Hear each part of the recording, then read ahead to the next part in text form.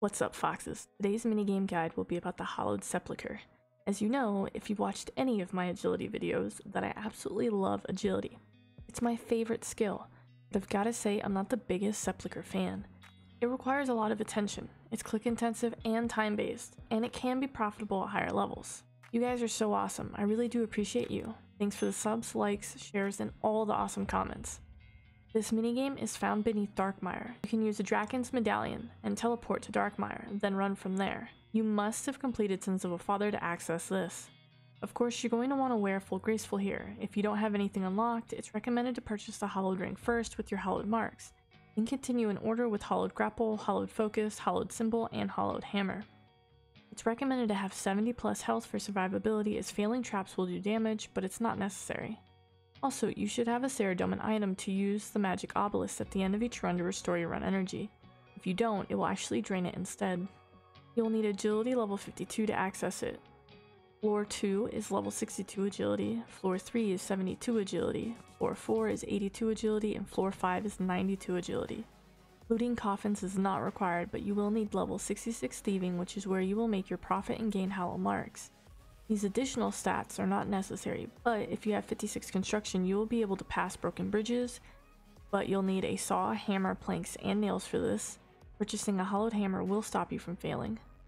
You have 54 prayer, this allows you to pass Saradomin Braziers, which requires you to bring at least two vampire dust to sacrifice, or you only need one per if you purchase a hallowed symbol. If you have 7 magic to pass portal frames, which requires you to use enchantment spells. However, if you fail it twice, it will be impassable. Purchasing a Hallowed Focus will prevent you from failing this.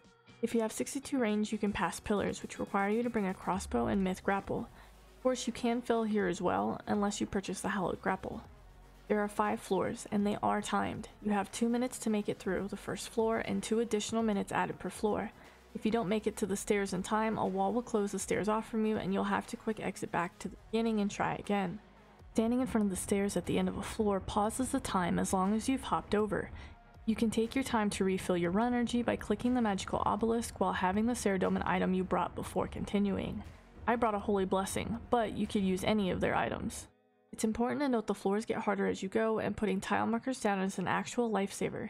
As for actual placement of the tiles, take your time and trial and error each floor until you get them down before trying to speed run. Now let's go over the types of obstacles you'll encounter and how to pass them. Failing an obstacle sets you back a little bit and does damage to you unless you're wearing a hallowed ring. Keep in mind that they like to double up on obstacles you could be dealing with, for example, the wizard's flames and double arrows at the same time. First up is the wizard statue obstacle. These guys shoot fire, so watch for the gaps on one side and mark the tiles. Then, when it's safe, run through. Some of them fire at the same time and some of them alternate, having two different patterns that they use. So just make sure to note the spots that they don't have fire so you can run through. Getting the timing for this one is super easy. The Knight Statue. They throw a Saradomin sword along a predefined path. It will return to the statue once sent out, so make sure to wait for the sword to either have it just left the statue or follow behind it having just come back to the statue and run before it's sent out again. The sword speed is faster in lower levels, so keep that in mind. Crossbowmen statues. These guys fire an arrow down a single path, but there's three of them and they could come down any path. Sometimes they only fire one at a time, sometimes they fire two at a time, so try to gauge smaller steps to have more control over how quickly your character can change lanes. This one is random, so it may take you a couple tries to get the hang of it. Freeze Statue. These guys summon lightning in a 3x3 pattern that can stun you briefly. Here you'll want to get your timing right to run completely through. The last is the Strange Tiles. They are blocks of yellow and blue teleport circles that when walked over teleport you forward or backwards.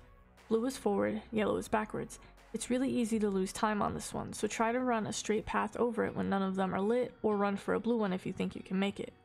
That's all you need to know to actually play the minigame, but let's touch on the coffins real quick in case you're wanting to make some money while you're here. There are coffins on each floor, but they are blocked behind either a broken bridge, Saradomin Brazier, portal frame, or pillars, which is where the non-required stats from earlier come in. One strategy is to not loot any coffin except the Grand Hallowed Coffin, which is found on the last floor as it has the better loot table. This allows you to keep your speed up, making your floors in time and making some decent money while you're at it.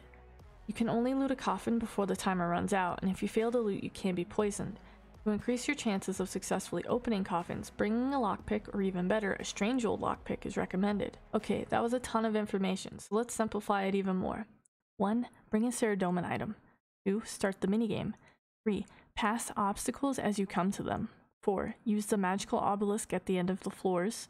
5. Ignore coffins till the last floor, and or whatever floor your agility level allows. Because you still want to collect hallowed marks. Remember to bring necessary items for the obstacles if you are looting any coffin except the Grand Hallowed Coffin. Number 6. Go down the stairs to the next floor. And number 7. Rinse and repeat. Alright guys, that's all I have for this minigame. I will be putting together a specific video to go over each floor, including tile markers and how to pass them at a later date. Stay tuned and thanks for watching.